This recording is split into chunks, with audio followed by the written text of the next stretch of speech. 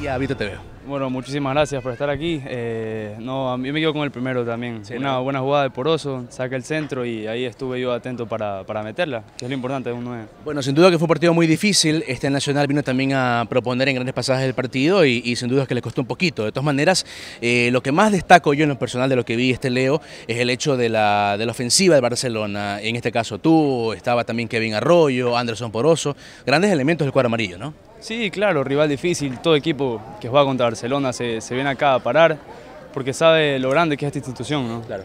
Eh, pero bueno, como tú dices, tenemos grandes, eh, grandes jugadores como Poroso, como Kevin.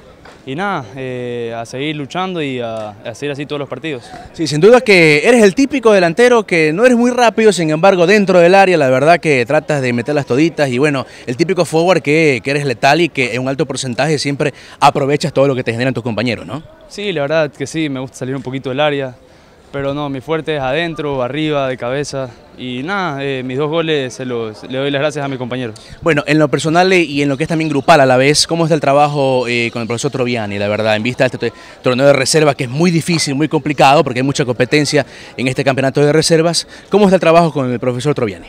No, bien, el profe Troviani nos tiene una confianza a todos, tenemos un gran grupo, grandes jugadores, han llegado buenos refuerzos y el profe está a muerte con nosotros y nosotros a muerte con él.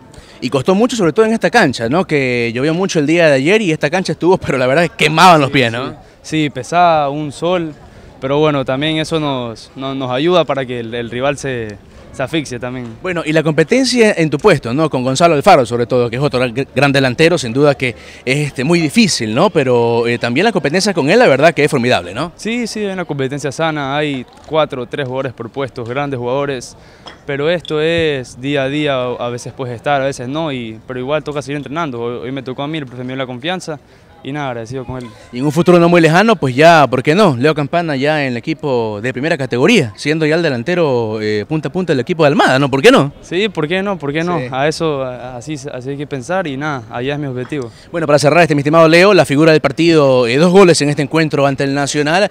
Mándale saludos ¿ah? a, tu padre, en este caso, don Pablo Campana, que está viendo en conjunto con don Aquiles Álvarez, también el, el presidente de la Comisión de Fútbol de Cuadro que están viendo en Estados Unidos, ¿ah?